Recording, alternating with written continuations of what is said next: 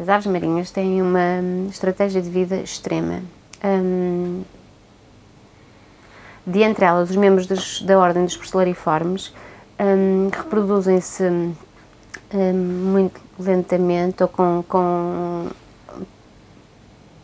períodos de reprodução muito longos.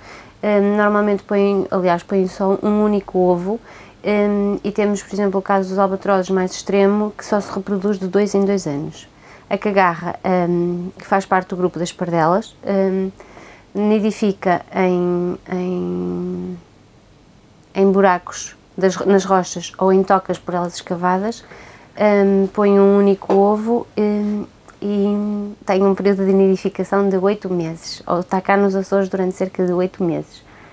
Um, as colónias são numerosas, podendo uh, atingir os vários milhares de casais, como é o caso, por exemplo, nas selvagens, com uh, uma colónia estimada em 32 mil casais.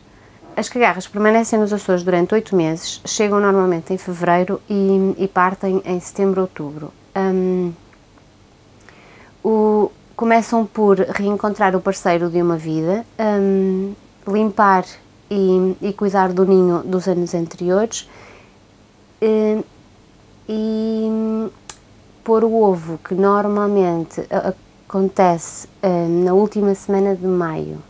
A incubação é um período extremamente longo, normalmente em média de 55 dias, e é partilhada pelo casal, um, que uh, alterna os turnos de incubação, turnos esses que podem atingir até os 14 dias.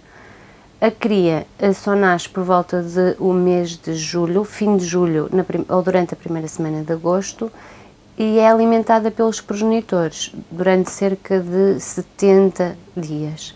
Um, ao fim desses 70 dias, perde algum peso e uh, vai abandonar o ninho movida pela fome.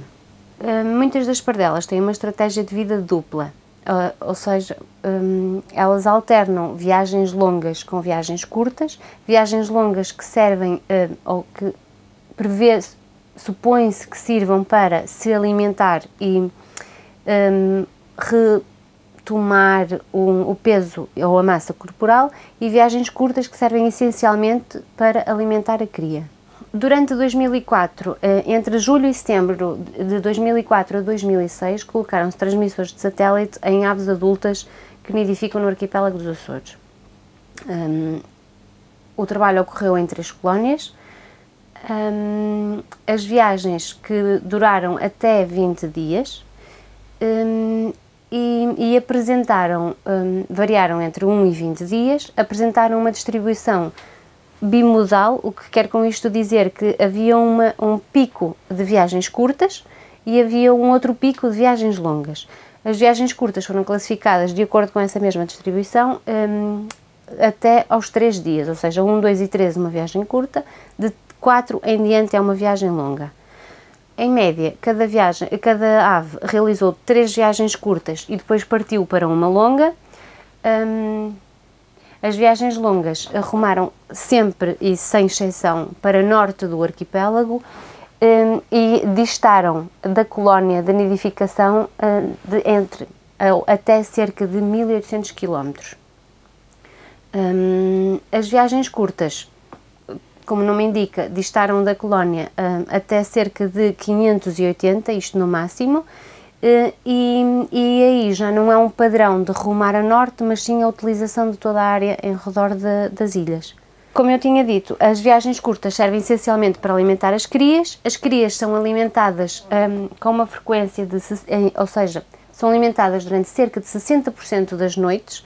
Um, estes intervalos podem variar entre 1 e 9 dias. Em média, as crias são alimentadas a cada dois dias. Um, a curiosidade neste, no trabalho que nós temos, ou nos resultados que temos até agora, é que as crias são alimentadas com maior quantidade de alimento quando os pais regressam numa viagem longa do que quando re regressam numa uh, viagem curta. Apesar de, como eu disse, as viagens longas aparentemente e de acordo com estudos de outros investigadores eh, servirem para repor a massa corporal dos adultos.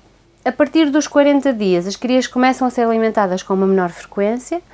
Cerca dos 70 dias, elas, essa frequência para. Os adultos, acredita-se que uh, abandonem os Açores para ir para as zonas de, de invernada e, e, as crias ficam cerca de duas semanas, 20 dias, no ninho a, a acabar de formar as penas, um, com o excesso de, com a reserva que os adultos lhe deixaram, um, para, para abandonar o ninho mais ou menos durante o mês de outubro, início de novembro, e seguir para uma viagem um, que os levará até a costa do Brasil, onde permanecerão os primeiros anos de vida até voltarem um, aos Açores ao fim de alguns anos e iniciarem um novo ciclo.